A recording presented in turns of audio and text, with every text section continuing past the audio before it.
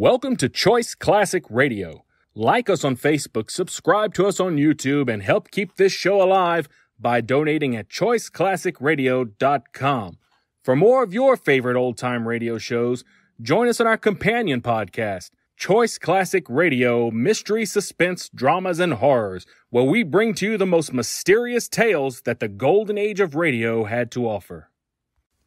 And now, with 314 episodes made, originally airing on the NBC network from 1949 to 1957, we bring to you Dragnet. The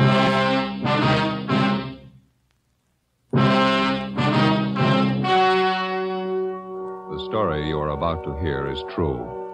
Only the names have been changed to protect the innocent.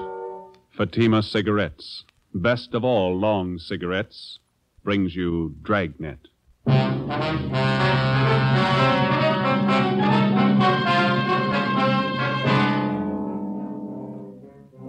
You're a detective sergeant. You're assigned to robbery detail. Three persons are shot down in a $12,000 holdup. One of the bandits is apprehended, convicted, and sent to prison for life. The other one is still at large.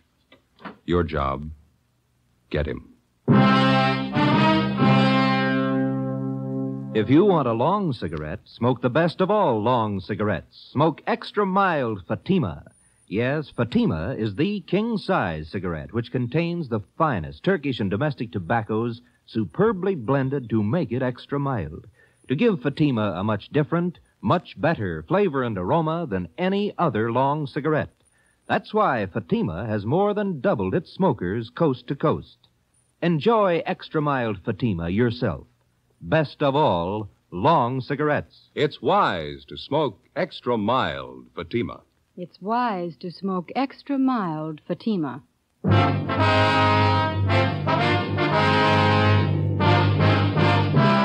Dragnet, the documented drama of an actual crime.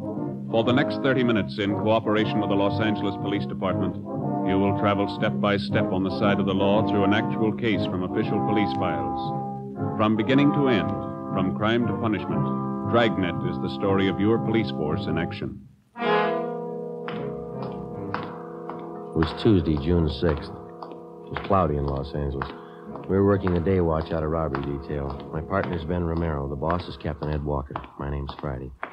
I was on the way back from communications, and it was 11.35 a.m. when I got to room 27A, robbery division. Joe, how are you? Oh, hi, Dave. Message in the book for you. Came in a couple of minutes ago. Oh, thank you. Woman's voice. Wanted you to call as soon as you got in. Yeah, thank you, Dave. I'll get it now.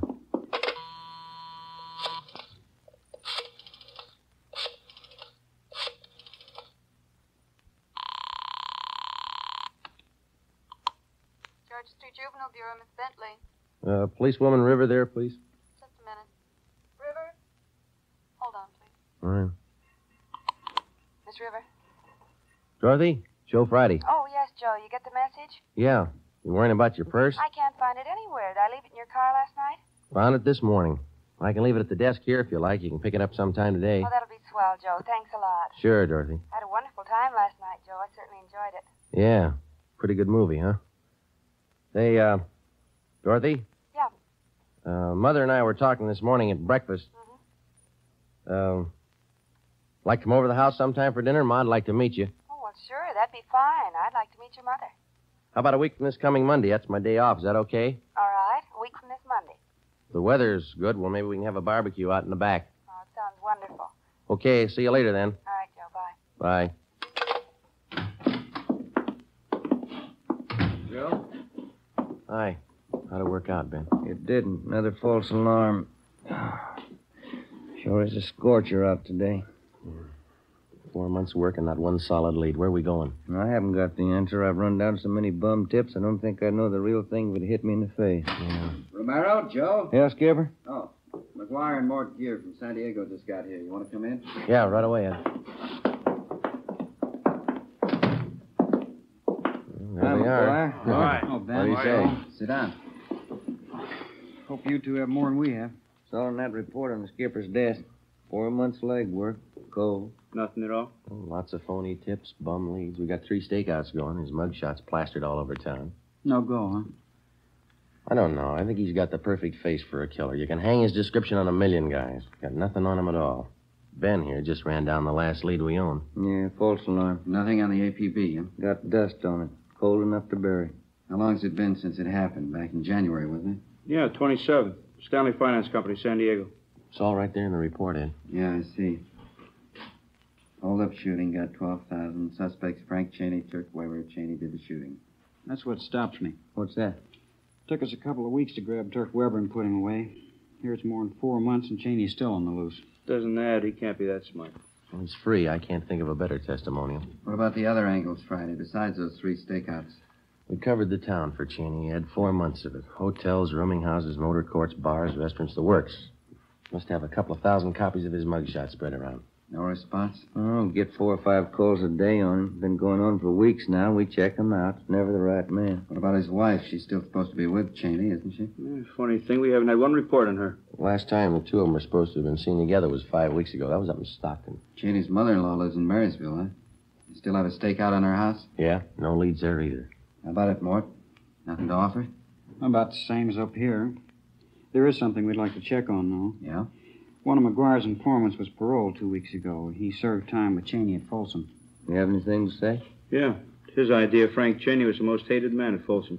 Most of the cons had given their right arm to cool him off. Hmm? What made him so popular? Pretty much of a heel. Ran to the warden's office three times a week regular, and informed on the other cons every chance he got. You figure some of them might want to even the score. Mm-hmm. If they know anything, I'm pretty sure they'll talk. Worth a try, isn't it? Their leads can't be any colder than what we got, anyway. You gonna need any help, Mort? No, McGuire and I can handle the questioning. We'll go up to Folsom tomorrow. Okay. I don't think there's any argument. This thing needs a quick answer. Joe, you and Ben will have to push a lot harder and a lot faster. Cheney's robbed and killed before. Give him the chance, he'll do it again. We've run down all the possible angles, Ed. We've checked every lead we could dig up. There's one you missed. Yeah? The right one. Find it. From the day Frank Cheney had been identified as the killer in the San Diego holdup murder four months before, all of us realized the danger of another killing as long as he was loose. After 18 years in prison, Cheney had a gun and he had his freedom again. We knew he wouldn't give him up easily. Thursday, June 8th, Lieutenant Mort Gear and Sergeant Tony McGuire returned from Folsom Prison. After talking with most of the convicts who knew Cheney well during his prison days, they had a list of more than 40 leads to run down. Ben and I took half of them. We started checking. It went kind of slow, and the results were thin. After running down the first dozen leads, we'd found out nothing about the suspect that we didn't already know. Monday, June 12th. We checked with a John Strezak, supposedly one of Cheney's close friends up at Folsom. He'd been paroled before Cheney, and he was now working at a large commercial engraving firm down in East Main. Yeah, I knew Cheney pretty well, Sergeant. Pretty well. Uh, just a minute, will you? Mm-hmm. Yeah, that does it. Yeah, I know why you're here, Sergeant. I can't help you. You were pretty close to Cheney up at Folsom, weren't you, Strezak? Best friend?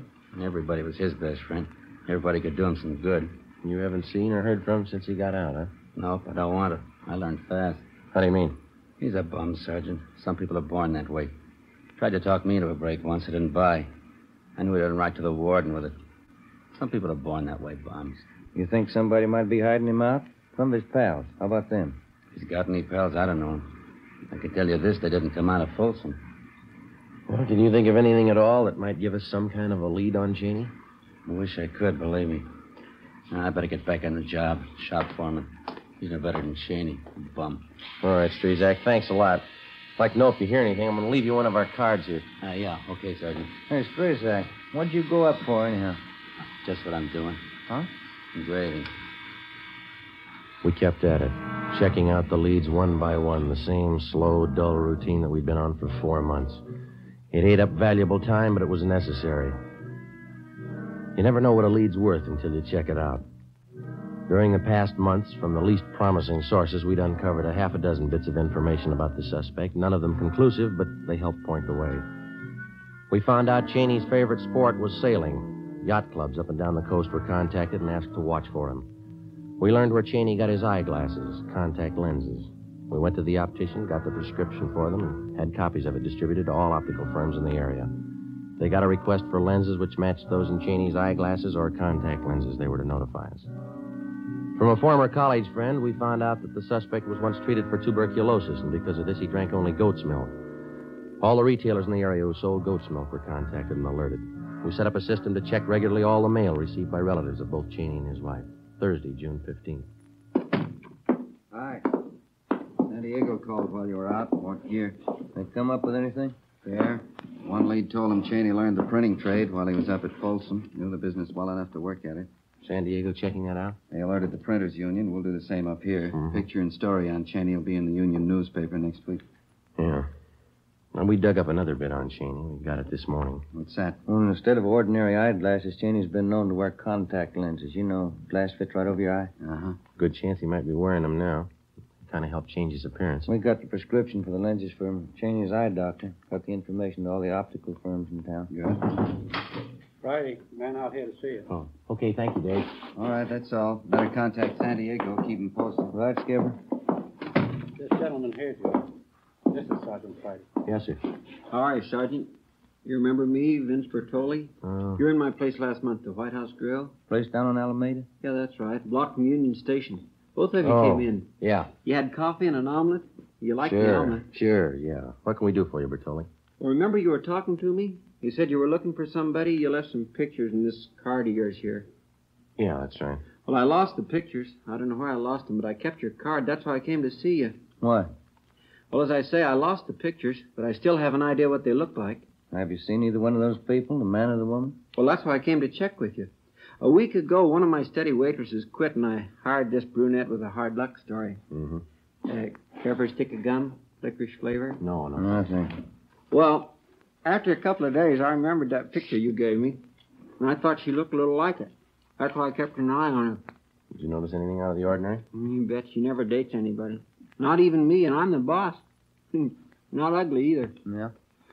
She always claims she's got to get home. Never gives a reason. Says she lives alone. Or where does she live? A couple of blocks from my place on North Jersey, I think. I checked the place where she does her shopping. They tell me she buys enough groceries for three people. Mm-hmm. She still insists that she's living by herself, though. Yeah, that's why I thought I'd better check with you. I lost the pictures, but I hung on to your card. Uh, will you take a look at this photograph, Bertoli? Yeah. Sure, same one you gave me. Looks just like her, Mary Sloan. Who? Mary Sloan? That's her name, isn't it? You want to turn that picture over? Mrs. Frank Cheney.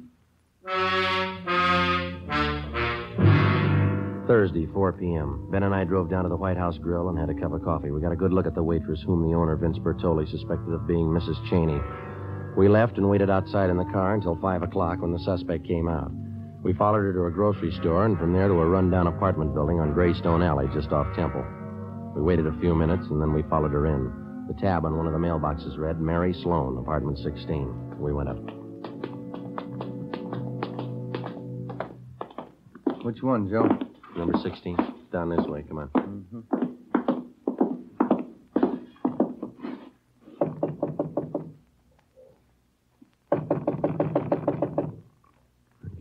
Try the door.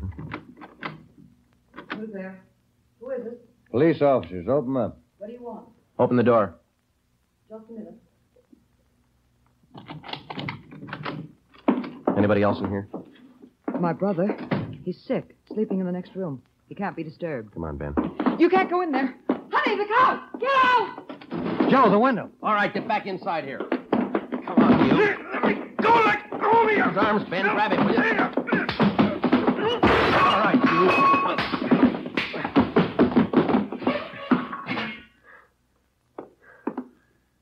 you. Are you all right? Yeah. Thought he broke my bridge work. Yeah, you got clipped for nothing. Hmm? Not Cheney. We drove the man and the woman who identified herself as Mary Sloan back to the office where they are identified as fugitives from Miami, Florida. The man was wanted on charges of first degree burglary. The woman was the accomplice. We turned the case over to Bunko Fugitive Detail. A little after 11 o'clock Friday morning, Ben got a tip that Cheney had been seen the night before at a small bar down near Fullerton. That's a Los Angeles suburb. He was supposed to be living in the area. We spent Friday, Saturday, and Sunday tracking it down. It went nowhere. On Monday, for the first time in three and a half weeks, we had some time off. half a day, I picked up policewoman Dorothy River and drove her out to the house for lunch. We had a barbecue out in the backyard. Certainly a wonderful place you have here, Mrs. Friday. Beautiful garden. Oh, thank you. It's a lot of work keeping it up. Roses didn't do well at all this year. Aphis, you know. About some more spare ribs, Dorothy. The fire's just right now. Oh, no, thanks, Joe. I've had plenty. Care for another cup of coffee, Dorothy? All right, thank you. Hmm. I'm glad you could come today, Dorothy. Joseph's been talking so much about you. Oh?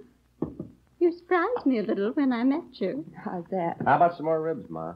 Oh, no, thank you, Joseph. I don't think you look at all like a policewoman.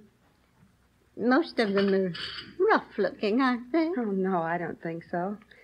They look like most women, nothing much out of the ordinary about them. Oh? Well, times have certainly changed. We didn't have police women when I was a girl. Probably could have used them. Well, I don't know. I don't think we had so much crime then. Times were much different. You seem so young for such work, Dorothy. Police woman. I'm 25, Mrs. Friday. Been with the department almost two years. Oh, yes, you're a young girl. Joseph's 31, you know. Yes, I know. Hey, Ma, how about letting me gather you the dishes up? Oh, no, no, that's all right, Joseph. You just sit there. Have your coffee. I'm used to this. Have to get used to housework when you're married. I'll bring out pie. It's a wonderful dinner, Joe. Your mother's very sweet. Yeah, real subtle, isn't she? Oh, motherly instinct. Somebody has to look after you. That's the phone, Dorothy. I better grab it. I'll be right back. Okay.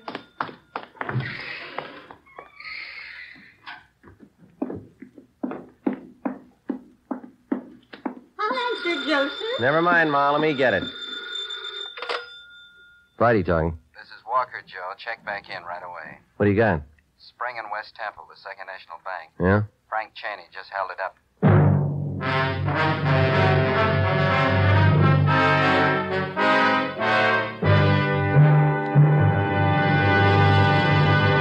You are listening to Dragnet, the case history of a police investigation presented in the public interest by Fatima Cigarettes. If you smoke a long cigarette, it will be in your interest to listen to a typical case history of a Fatima smoker. It's the case of registered nurse Shirley Gelman of Los Angeles, California. You'll see her picture in leading magazines this week.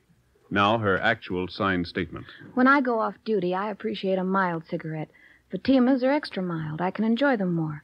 I agree. It's wise to smoke extra mild Fatima. And more and more smokers are discovering this every day. Actual figures show Fatima has more than doubled its smokers coast to coast. So enjoy extra mild Fatima yourself. The king size cigarette, which contains the finest Turkish and domestic tobaccos superbly blended to make it extra mild. You will prefer Fatima's much different, much better flavor and aroma. You will agree. It's wise to smoke extra mild Fatima.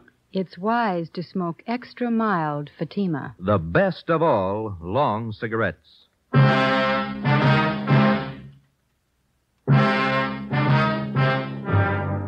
Monday, June 19th, 3 p.m. I went back to the office, picked up Ben and Captain Walker, and the three of us drove to the scene of the robbery at the corner of Spring and West Temple, the Second National Bank. Ricketts and Thaxter from robbery detail were already there questioning witnesses. We talked to the bank's vice president in charge at the time of the holdup, a Mr. Bronson. He had a welt on the right side of his head and was pretty badly shaken. He had his hand in one of his coat pockets and he walked straight over to me. It's the first thing he said. This is a holdup. You're positive of the identification, Mr. Bronson? I'm certain. This picture here, it's the man, all right. The others will tell you the same. Who's that, Mr. Bronson? The tellers, they all got a good look at him. No mistake. Well, what happened after Cheney approached you?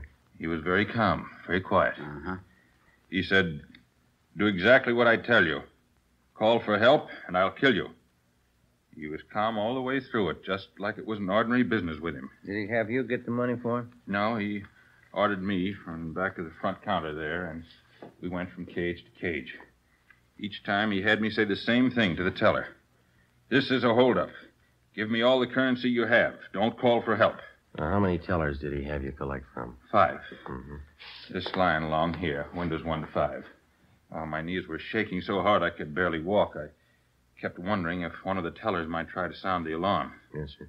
What happened after he got the money? He had me walk in front of him, down there to the side exit. Mm-hmm.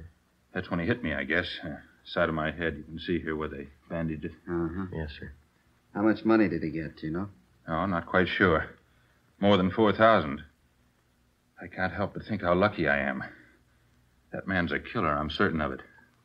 Are you sure that we can't fix you up with a ride home? No, no, I'll be all right, thank you. My wife's on the way down now. All right. Can I see you fellas a minute? Yeah, thanks, sir. Uh, excuse us, will you, Bronson? Yes, certainly.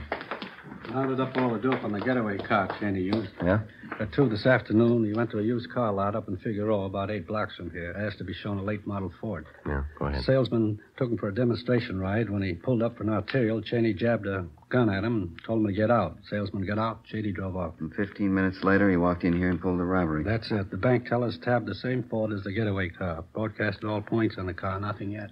What time you got, Romero? Mm, ten minutes before. What time did the alert go out, Thaxter? 245. Everything covered? Yeah, Union Station, both airports, the bus depots, they're all alerted. Roadblocks set up on the highways. Since 245. Just about. And Cheney's somewhere in the city. Find him.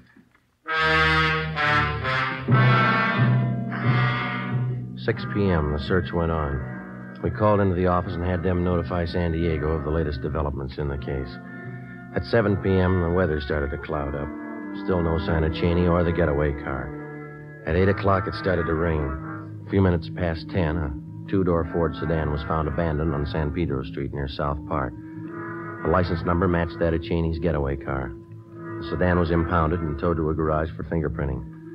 Ben called the office, and an emergency detail from Metropolitan Division was sent out to help in a house-to-house canvass of the neighborhood where the car had been found. By 4:30 the next morning, we got nowhere, so we decided to give it up until later in the day. At 6:30 a.m., we had poached eggs and coffee at an all-night drive-in. 7 a.m. it was still raining. We checked back in at the office. I don't know. Seems like every time we have to work late, it's gonna rain. You got any of those little white tablets in your locker? At breakfast, gave me indigestion. Yeah, I think I got a few left. That reminds me, how'd the dinner come off yesterday? Two of them get along all right? Oh, yeah, all right. You know how it is. Ma had a, her usual few things to say. Oh? Dorothy handled it pretty good. Good sense of humor. Yeah, nice looking girl. Sensible. Hiya. What's say, Earl? Do any good? No, not much. Phone message in the book for you. You're supposed to call as soon as you get in. Hmm. Hempstead 4219. No name? No, you're supposed to call the number, that's all. Oh, okay. Well, Well, how's the new house, Earl? Pretty good. Takes a lot of money. Got the forms in for the patio. I'm going to pour the cement this weekend. Mm-hmm. Got the place fenced off yet? Not yet, no. Most pickets cost money. Fellas are telling me that you're doing all the work yourself, huh? Me and the brother-in-law, yeah. Costs a lot of money a new house. Sounds good, Joe. Who was it? Frank Cheney's grandfather. Yeah? Says to come over right away. 7.30 a.m. It was still raining. Ben and I drove out to the older section of the Wilshire district to the Cheney mansion. It represented one part of the suspect's life that we could never figure. As a child and later as a young man, Frank Cheney had had every advantage and comfort that a millionaire father could buy for him. Yet for some reason, he'd settled on a career of crime.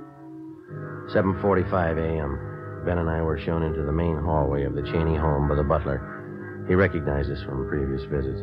He took our hats and coats and then led us up the staircase to the master bedroom at the far end of the second floor. We found Cheney's 82 year old grandfather propped up in a four poster bed. His face was gray and sunken. There was a nurse in a white starched uniform standing by. You can go, nurse. Go on. I'll be outside if you need me, Mr. Cheney. Yes, yes. You, um, have some information for us, Mr. Cheney? Of course. Hi, called. Sit down. Sit down. Thank you, sir. That holdup yesterday, the bank robbery. I know all about it. Has Frank contacted you? It's like the police get right to the point. Has he contacted you, sir? Yes. Uh, hand me that glass of water, please. Oh, yeah. There. There you are.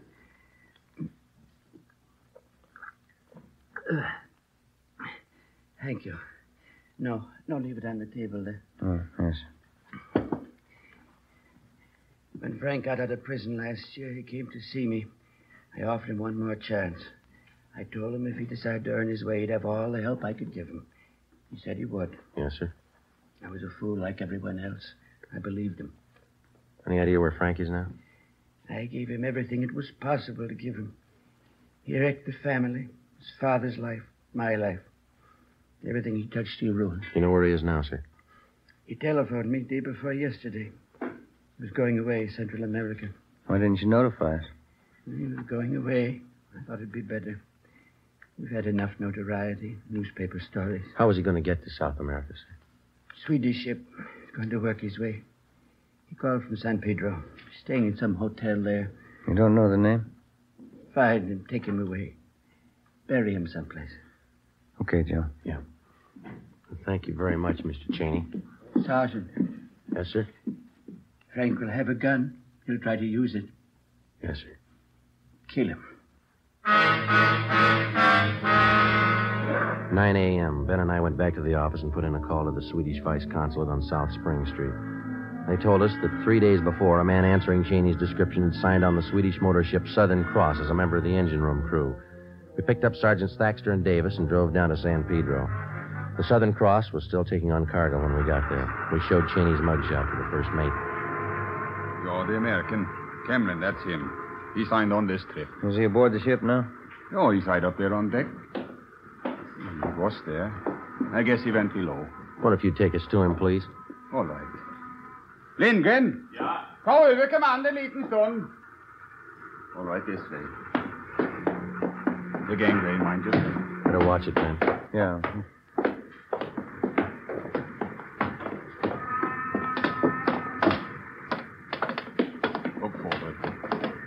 Through here. Mhm. Maybe you better stay behind here, sir. We'll take him. What's that? Might be a little trouble here. Do you want to stay behind us? All right. He he must be in the engine room. Stay ahead, then turn to your left. Down the companionway. Right, thank you. Come on, now watch your step, man.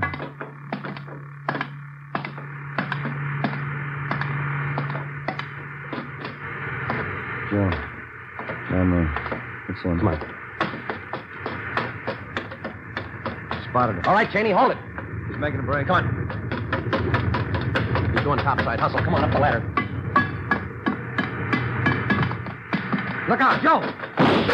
Give it up, Cheney. He's going for the gangway. Down, Ben. Yeah. All right, stop him. Come on.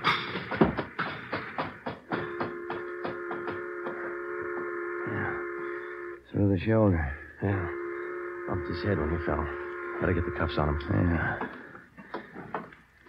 Where'd everybody disappear to? I guess you didn't notice when we came aboard. Huh?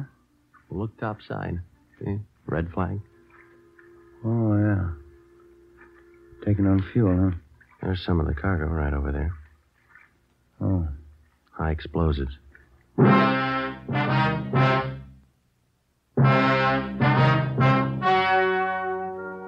story you have just heard was true. Only the names were changed to protect the innocent. On November 2nd, trial was held in Superior Court, City and County of San Diego, State of California. In a moment, the results of that trial. It's amazing how many long cigarette smokers are changing to extra mild Fatima. Here is the actual report. From coast to coast, Extra Mild Fatima has more than doubled its smokers. Yes, more and more smokers every day are discovering that Fatima is the king size cigarette that is extra mild. Extra mild because it contains the finest Turkish and domestic tobaccos superbly blended to make it extra mild, to give it a much different, much better flavor and aroma. Enjoy extra mild Fatima yourself. Best of all long cigarettes. It's wise to smoke extra mild Fatima. It's wise to smoke extra mild Fatima.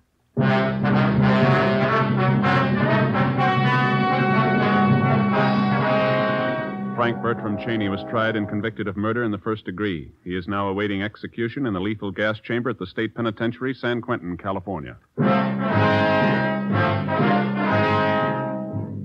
Fatima Cigarettes, the best of all long cigarettes, has brought you Dragnet from Los Angeles. This is NBC, Next. the national broadcasting company.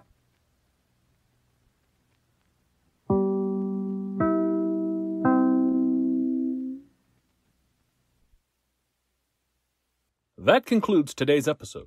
We'd like to thank you and remind you to donate at choiceclassicradio.com. Remember, your donations make episodes like this possible.